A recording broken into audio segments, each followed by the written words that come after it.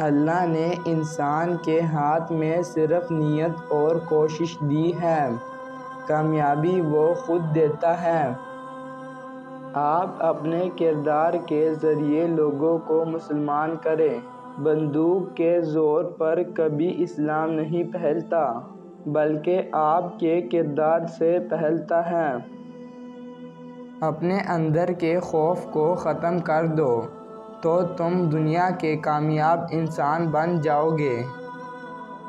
इंसान को जिस्मानी ताकत नहीं, बल्कि ईमान की ताकत मज़बूत बनाती है। बहादरी सच और सही के साथ कड़ी होती है। सच्चाई वो ताकत है जो हमारे मसाइल हल कर सकती है। असल कामयाबी तो ये है आप कैसे दोबारा खड़े होते हैं? शिकस्त के बाद आप अपनी शिकस्त का ख़ुद मुताल करते हैं और फिर कामयाबी हासिल करते हैं। अपने ख्वाब के लिए समझौता करो, लेकिन अपने ख्वाब पर कभी समझौता ना होने दो।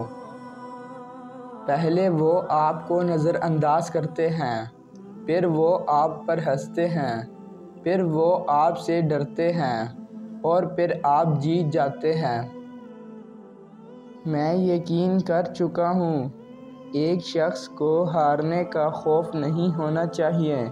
मेरे ख़्याल से एक ख़ास हल यही है। रहनुमा लोगों की रहनुमाई करता है। रहनुमा लोगों की राय की पैरवी नहीं करता। शरीक जुर्म ही होगा, जो अब रहा खामोश। खुदा की कसम, ये मिट्टी वफा को तरसेगी। मैंने ये जंग यहाँ अपने लिए नहीं छेड़ी।